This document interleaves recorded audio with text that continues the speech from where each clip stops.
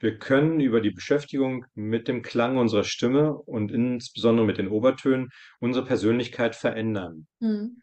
und werden dadurch merken, dass bestimmte Themen sich verändern, die mit unserer Persönlichkeit im Zusammenhang stehen.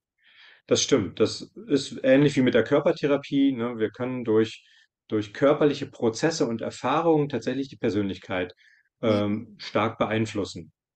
So, und ja, es lässt sich auch in Verbindung bringen mit dem Bewusstsein.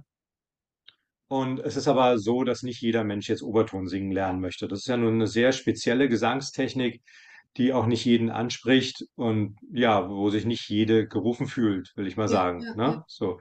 Hm, Von daher bei der Stimmanalyse, das ist schon eher eine diagnostische Methode, wo ich auch natürlich Ausblicke gebe und Hinweise gebe bei der Auswertung.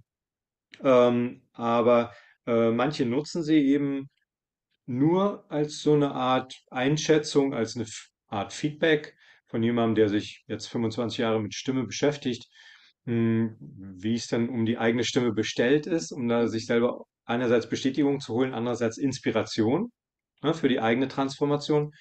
Und manche, die sagen, okay, das ist eine gute Basis, von dort aus möchte ich jetzt gerne ins Stimmcoaching einsteigen. Ah Und ja. das braucht ja auch nicht bei mir sein. Es gibt ja genug andere Anbieterinnen.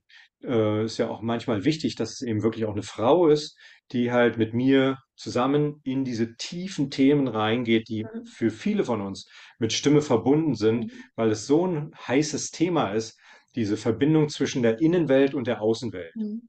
So, das ähm, ist bei vielen Menschen von uns Mhm. verletzt worden, Mhm. dieser freie Fluss, dieses freie Schwingen, Ja. dieses natürliche in Balance sein zwischen dem Aufnehmen von Schwingungen von außen und dem Rausgeben von Schwingungen von innen nach außen. Ja.